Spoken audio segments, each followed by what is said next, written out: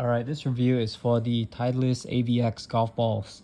And uh, in our video earlier, you can see I hit it with a driver and it sounds really nice off the face. Uh, you get a very nice touch and uh, response when you hit it as well. It feels like a, a very solid ball. And um, you get a lot of spin with these and a lot of uh, good distance as well. And the packaging is quite unique too with uh, this particular Titleist model.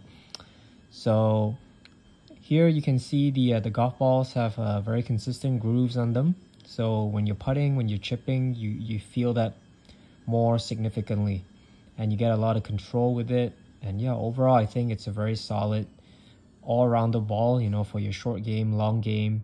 If you're looking for more spin, you can put it on this. And yeah, a very solid 10, 10 out of 10 ball, I would say.